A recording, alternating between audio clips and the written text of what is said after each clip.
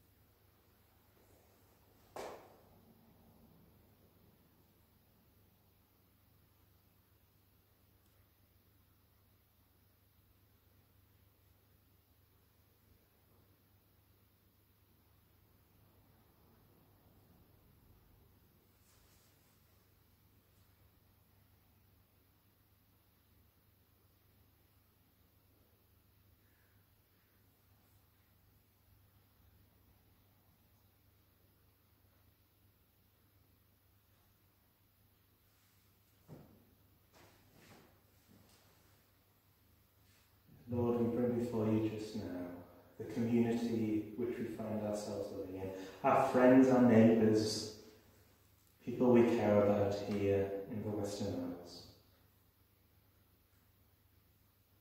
Lord, we're all involved with so many different people, and we all have placed on our hearts different people we are concerned about. We just bring them to your throne of grace just now. We know there are people in our corps folk who are unwell, and Lord, we pray for healing. We know there are people who are scared, people who are feel they need to shield at this moment, people who are shielding at this time and maybe feeling isolated. Lord, we just pray that they may feel your presence here with them. Lord, whatever people's needs are just now, for those we have raised to you in concern in our hearts, Lord, we just we ask that you would meet that need right now. Amen.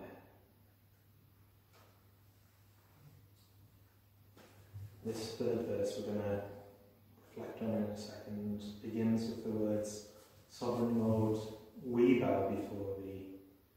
And we're just going to spend some time after this verse again in private prayer, bringing ourselves before God. You know better than anyone what you need just now.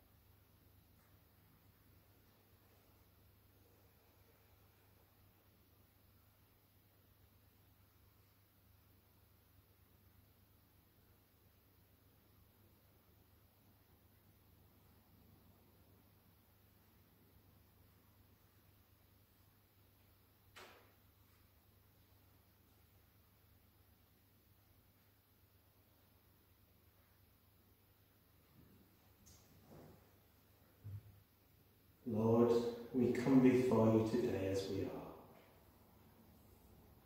We bring ourselves before you now. we know that you give each and every one of us good things that we do not deserve, and Lord, we thank you for that. And Lord, right now, as we come before you, whatever needs we have, whatever we have just raised to your throne of grace, we just pray, as the psalmist said, all in you we find all in, uh, all in, all in you, all in thee. All we need in thee we find. And Lord, whatever our need is this morning, whatever is on our hearts, we just pray that you would meet our need just now. Amen. And we're just going to finish this time of prayer with the final verse. May by grace and peace or shadow, and we make that our collective prayer